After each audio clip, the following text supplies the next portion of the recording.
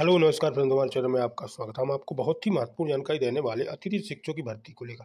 ये आठ दिसंबर 2022 की खबर है बहुत ही महत्वपूर्ण आदेश जारी किया गया है शिक्षा विभाग से अतिथि शिक्षकों को। ठीक है फ्रेंड्स, पूरी विस्तार से मैं इसकी जानकारी आपको दे रहा हूँ। वीडियो बने, वीडियो अच्छा लगे तो लाइक और चैनल को सब्सक्राइब ज़रूर अपडेट पाएँगे सीधी अतिथि शिक्षक भर्ती वर्ग दो के विरुद्ध आवेदन आमंत्रित करेगा सीधी में। ठीक है फ्रेंड्स, इसमें सीधी में प्रचारिये, शासकीय आदर्श उच्चतर माध्यमिक विद्यालय, चुरहट में जानकारी देकर बताया गया कि जवाहरलाल नेहरू शासकीय आदर्श उच्च माध्यमिक विद्यालय, चुरहट में रिक्त पदों के विरुद्ध अतिथि शिक्षकों के आवेदन आमंत्रित किए गए उन्होंने बताया कि अंग्रेज़ी विषय के अतिथि शिक्षक वर्ग दो के विरुद्ध आवेदन आमंत्रित हैं, जिसके लिए अंग्रेज़ी के साथ स्नाकोत्तर होना यानी कि मास्टर डिग्री होना अनिवार्य है एवं साथ ही बी एड एवं एम एड की वरीयता दी जाएगी। ठीक है स्कोर कार्ड का होना आवश्यक है और पिछले वर्ष में अध्ययन का परीक्षा परिणाम पचास प्रतिशत से अधिक होना चाहिए एवं आवेदन की आवेदन की अंतिम तिथि बारह दिसंबर 2022 निर्धारित की गई है। ठीक है फ्रेंड्स तो जो हमें योग्यता है वो आपको बताने वाले हैं।